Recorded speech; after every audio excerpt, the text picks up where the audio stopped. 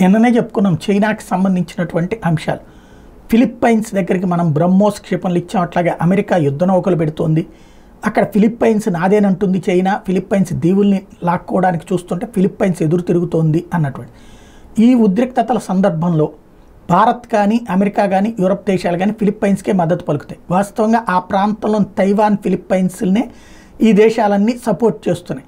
China మన చుట్టూ check పెట్టాలనుకుంటే మనం దాని చుట్టూ చెక్ పెడుతున్నాం. అదే సందర్భంలో ఇప్పుడు తాజాగా సింగపూర్తో కలిసి చేస్తున్నటువంటి యుద్ధ విన్యాసాలు ఏవైతే ఉన్నాయో అది ఫిలిప్పైన్స్ ఆ ప్రాంతానికి చెందినే ఉంటాయి. ఇది ఒక పక్కన చైనాకి కడుపు రగిలిపోయేలా చేస్తుంది. అంటే ఎస్పెషల్లీ ద్వైపాక్షికమే. అంటే మనం సింగపూర్ కలిసి చేసేది. అదంతా కూడా ఏదైతే చైనా నాది నా సముద్రం ఇట్టించి ఎవడన్నా వెళ్ళాలంటే నాకు కప్పం కట్టాలనేటువంటి ప్రదేశంలోనే చేస్తూ ఉన్నారు. దీంతో రగిలిపోతోంది చైనా తప్పుపడుతోంది ఆగ్రహం వ్యక్తం చేస్తోంది.